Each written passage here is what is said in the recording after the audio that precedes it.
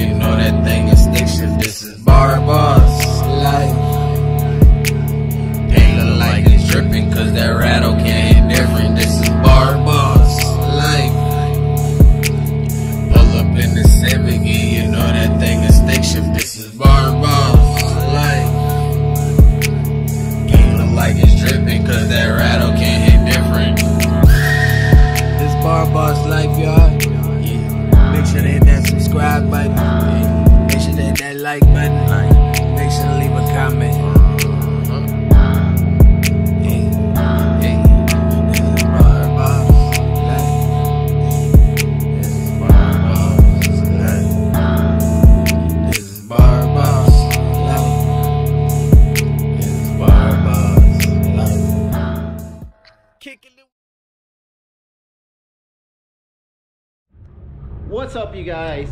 Today we bring Nesquik home. Let's go!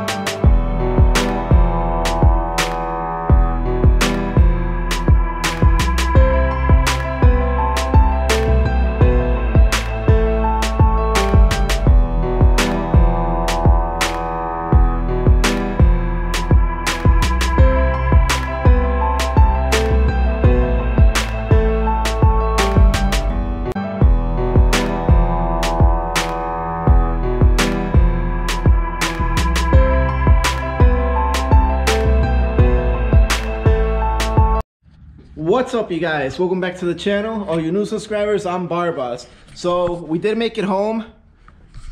There was two little problems that we had, and one of them I didn't record the offload because as soon as I got here, I got off the truck and I dropped my phone and I completely shattered it. So I was pretty mad about that. So then, after I started offloading the car, we got a leak and my brake pedal went all the way to the floor. So I have some kind of a leak coming from my brake line. So I was completely out of brakes. I ended up using the e-brake to stop the car, but at least it's here now. We could take care of that problem. Um, the front bumper is off. I have it on this side. Over here, it's just sitting back here we did go to the car wash and I did wash the car and it looks pretty shiny, but let me show you guys over here. I hit it with the ultimate compound from Meguiar's in this little section right here. And you can tell the difference that there's like a haze on this side. And right where I hit it with the compound, you can see how glossy it is right here. There's somewhat of a haze. But either way, I think we're gonna go and get a buffer and try to buff out the whole car and try to get this paint back up and shining really good. It's been nine months since I did this paint job and it's held up really good. Um, it's been about a year and a half since this car has been on the road. So that brake line that busted, it busted somewhere like right underneath here, like right in the middle of the car somewhere. So that brake line that busted is probably from all the snow and everything. It rusted it out completely. It's not a big deal. We'll take care of that as soon as we can. I do want to get all this stuff that's inside the Civic. All of this stuff, I want to get all that out. And I want to go ahead and try to take care of the interior. I don't know when, but the video's coming on that. We're going to go ahead and pull out the seats, pull out whatever's left in there, and paint the whole interior and make it all nice and clean. Um, I am pretty tired right now, so I'm gonna go ahead and call this a night and I will continue this video tomorrow. All right, so today's a different day. I went ahead and I emptied everything out of the car. Um, it is pretty filthy. Everything needs to be cleaned really good. I did bring some of my tools in my other car. As you can see right here. But I still have a bunch of stuff that I gotta bring back.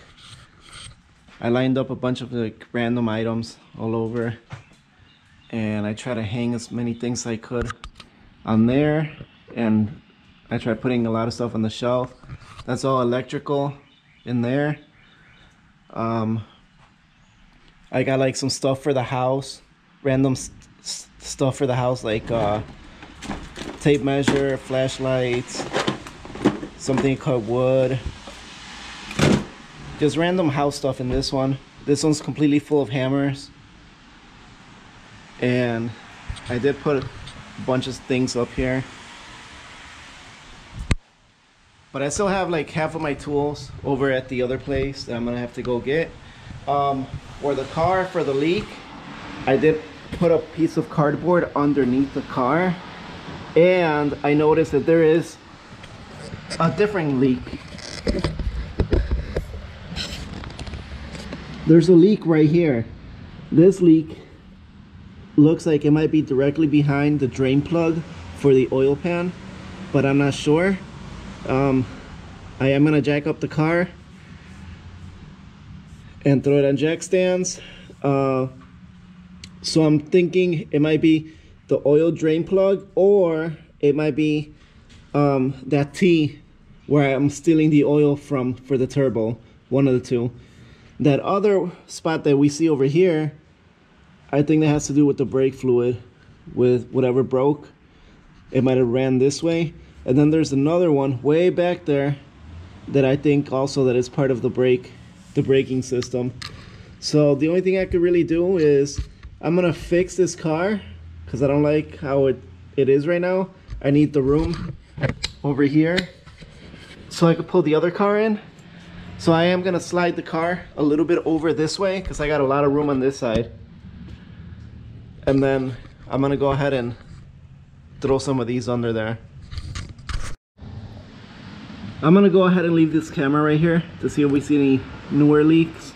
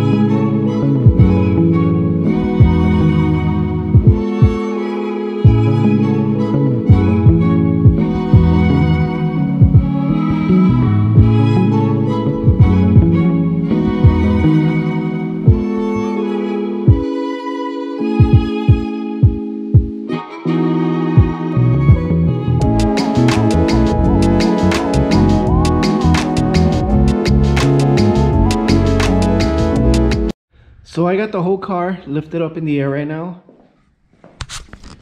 I got jack stands all over. I got an extra one right here. And then I have an extra one over here. So before I crawl under there, I haven't moved the cardboard, but you can see that there's obviously a stain there, right by the oil pan, and then one over there. So what I'm gonna do is I'm gonna throw these under there. I'm gonna throw this one maybe under the transmission, and then I'm gonna take this one with me because I'm very paranoid when I go underneath cars. Um, so I'm gonna get a light and we'll take a look, see where that oil's coming from. So I went ahead and I threw the extra jack stand right here. It's right under the oil pan. I really don't care. It's it's nice and open, but uh, like I said, I really don't care if it gets crushed as long as it saves my life, you know? And then over here, I got the jack with some brakes and it's right under the transmission.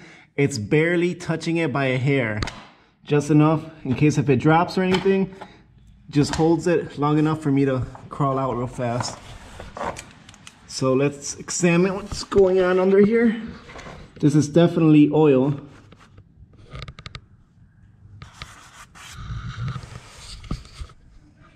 You guys can see, I don't know if you guys can see this, but there's a lot of humidity in here.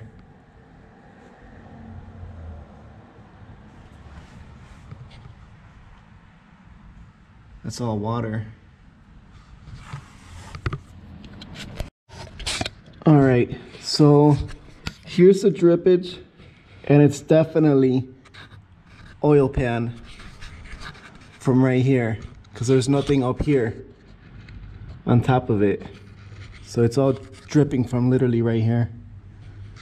So I'm gonna go ahead and tighten this bolt up and that should take care of that. And for the second one, the second drip, not quite sure where it's coming from. Trying to see if the sandwich up there looks dry.